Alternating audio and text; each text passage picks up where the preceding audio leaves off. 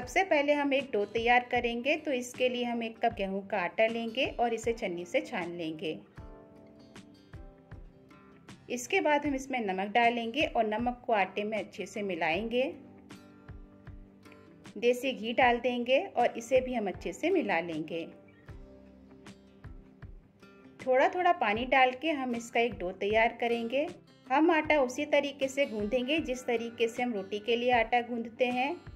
आप गेहूँ के आटे की जगह मैदा का भी यूज़ कर सकते हैं। डो हमारा तैयार है, अब इसे हम 10 मिनट के लिए ढक देंगे और आगे की तैयारी करेंगे। तो गैस पर हम एक फ्राई पैन रखेंगे और उसमें देसी घी डालेंगे। जब घी गर्म हो जाएगा, तब इसमें हम डाल देंगे प्याज। तो प्याज को मैंने लंबाई में काटा है और इसे हम हल्का सा भूनेंगे। हम इसे ज़्यादा नहीं भूनेंगे, बहुत ही हल्का भूनना है। अब इसमें हम डालेंगे शिमला मिर्च और शिमला मिर्च को भी मैंने लंबाई में काटा है।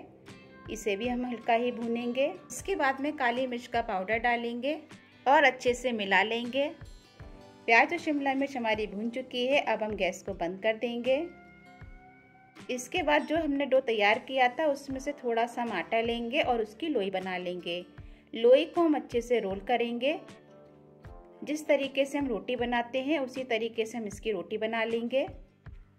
इस तरीके से इसी तरीके से हम दूसरी रोटी भी बनाएँगे।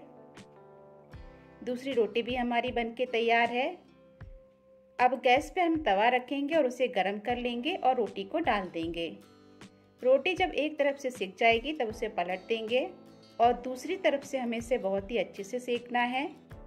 इसी तरीके से हम दूसरी रोटी को भी सेक लेंगे।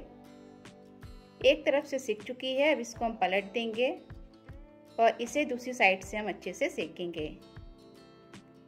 देखिए, दूसरी साइड से भी हमारी रोटी अच्छे से सीख चुकी है। इसके बाद हम एक बोल लेंगे और उसमें हम एक अंडे को फोड़ लेंगे। अब इसमें हम डालेंगे थोड़ा सा नमक और थोड़ी सी लाल मिर्च पाउडर और इसे अच्छे से फेंटेंगे। फ्राई पैन को हम अच्छे से गर्म कर लेंगे और उसमें हम हल्का सा घी डालेंगे और घी को हम अच्छे से स्प्रेड कर लेंगे। इसके बाद जो हमने अंडा फेंट के रखा है, उसे डाल देंगे और इसे अच्छे से चारों तरफ़ से घुमा लीजिए। ताकि ये अच्छे से स्प्रेड हो जाए। अब इसके ऊपर हम रोटी रखेंगे जो हमने सेक के रखी है और इसे अच्छे से दबाएँगे। थोड़ा सा इसके ऊपर घी डालेंगे और घी को अच्छे से फैला देंगे।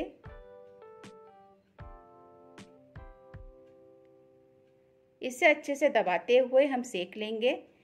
जब एक तरफ़ से सेक जाएगा तब इसको पलटेंगे और दूसरी तरफ़ से भी हम सेक लेंगे। सेम इसी तरीके से हम दूसरा भी तैयार करेंगे, अंडे को फोड़ेंगे और उसमें नमक और लाल मिर्च पाउडर डालेंगे और उसे हम तवे के ऊपर डाल देंगे। अब उसके ऊपर हम रोटी रखेंगे और ऊपर से हम घी लगाएँगे। घी को हम अच्छे से फैला लेंगे ताकि घी अच्छे से हमारी रोटी में लग सके। अब इसको हम दबाते हुए अच्छे से सेक लेंगे। लीजिए, दूसरा भी हमारा तैयार है। अब इसके ऊपर हम लगाएँगे टमाटो सॉस और इसको अच्छे से हम फैला देंगे। इसके बाद हम इसके ऊपर रखेंगे जो प्याज और शिमला मिर्च हमने भून के रखी है।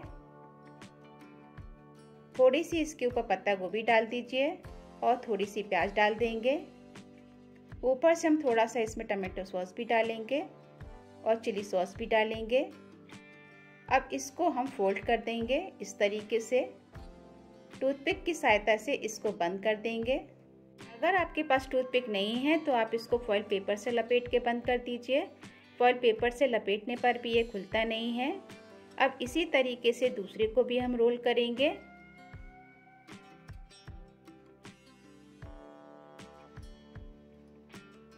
लीजिए हमारे एग रोल बनके तैयार हैं और इसे मैंने गेहूँ के आटे से बनाया है। आप भी एक बार गेहूँ के आटे से बना के देखिए, ये बहुत ही ज़्यादा टेस्टी बनते हैं। पसंद आए तो इसे लाइक, शेयर ज़रूर कीजिए और मेरे चैनल को सब्सक्राइब करना ना भूलें।